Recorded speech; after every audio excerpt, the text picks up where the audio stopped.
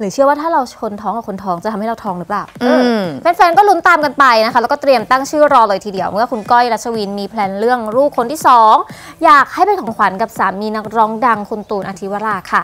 และเธอก็บอกว่าอยากได้ลูกสาวมากๆ ล่าสุดนะคะ เธอขอออกมาแชร์โมเมนต์น่ารักน่ารักพร้อมกับบอกว่า baby bump with lovely mommy แล้วก็แอดไปที่คุณแพทริเซียกูดนะคะ ความลับที่ไม่เคยบอกใคร วันแต่งงานก้อยกับพี่ตูนเมื่อ 2 ปีที่แล้ว พลอยแฟนของกันนั้นกำลังตั้งท้องน้องพร้อม ตอนมางานก้อย แล้วก้อยก็ชนท้องกับพลอย ผ่านไป 2เดือนน้องทะเลก็มาวันนี้เจอน้องแพทิเซียในงานแต่งงาน ก็เลยบอกว่าชนท้องพี่หน่อยค่ะเผื่อน้องสาวน้องทะเลจะมา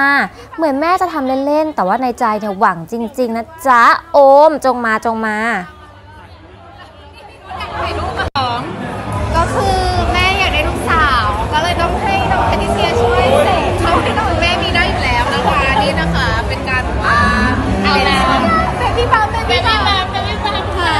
เดี๋ยวมาดูว่าน้องจะแบบว่าทำอะไรบ้างขอบคุณที่ติดตามชม Good Morning Insight ทาง True Insight ของเราด้วยนะคะ อย่าลืมกด subscribe แล้วก็กดกระดิ่งแจ้งเตือน จะได้ไม่พลาดทุกการรับชมแบบสดๆ เลยละค่ะ ยังสามารถกดไลค์ในแฟนเพจใน Facebook ของเราที่ True Insight ได้ รวมถึงลิงก์อื่นๆ ด้านล่างนี้ได้เลยค่ะ